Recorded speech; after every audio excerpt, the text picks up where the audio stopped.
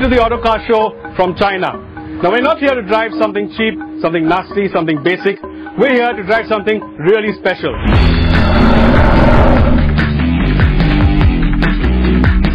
Now this is Bentley's new Flying Spur.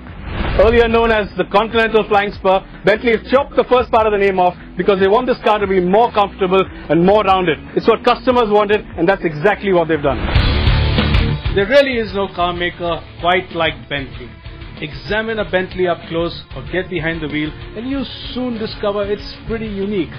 Both very sporty and very luxurious at the same time, this car is uniquely positioned.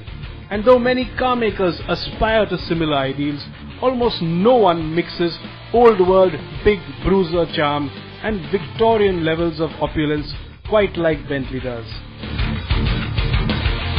The new Flying Spur carries on that tradition. There's that big bold chrome mesh grille up front and large headlamps too. But the Flying Spur this time around is more svelte looking, especially around the haunches. And the rear is now more blocky too, so it's easier to identify this new car.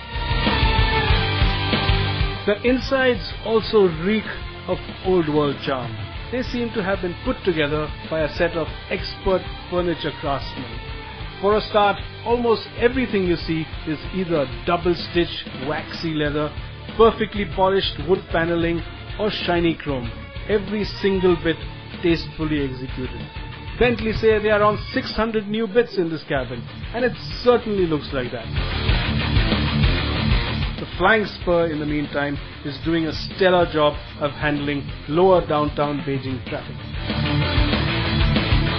Now most Bentley customers have a really delicate backside. And that's why they got back to Bentley and said, look, we want the car a bit softer. And that's exactly what Bentley's done. They've softened the ride of the car, the air springs are softer, the dampers are softer. And on comfort mode, it really feels like a limo. It's really wafting through the bumps and it's really, really comfortable.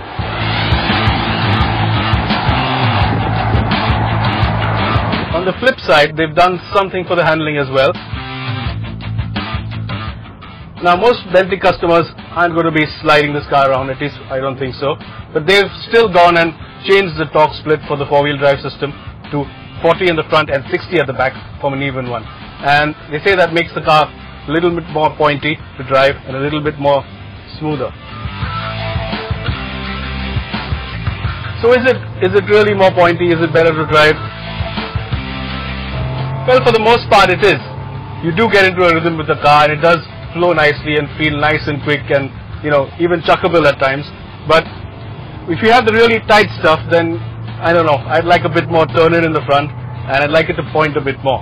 But that's just in the really tight stuff. Once you get more flowing roads and longer corners, it's really really nice, and you can really make use of that momentous power and engine.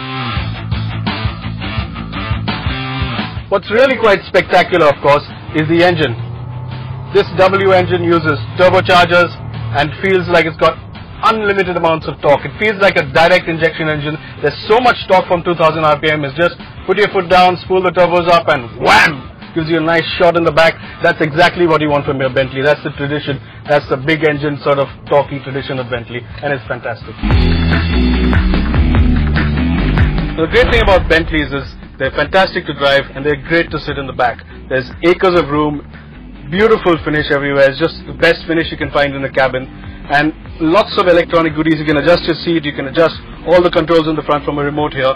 And although the support isn't fantastic on this car, you can option a car where there's even greater squat support or thigh support as they call it. And that's the one you should go for, I think.